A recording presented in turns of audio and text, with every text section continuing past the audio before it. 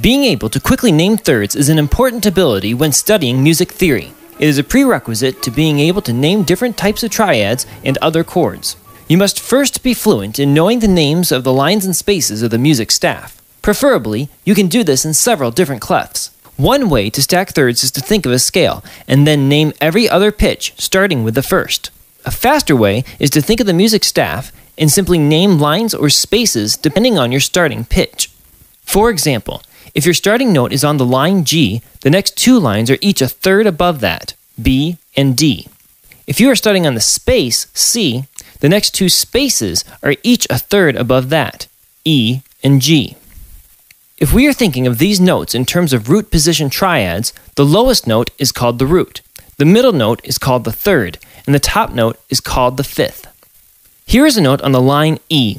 The next third up would be on the line G, and the next note, a fifth above E, would be the line B. You can also use this technique to quickly name a fifth above a given pitch. Simply go up two lines or spaces and omit the third in the middle. Here is a note on the space F. Visualize the staff and ask yourself what is the next space, and then the space above that. Your answer should be a fifth above F, C.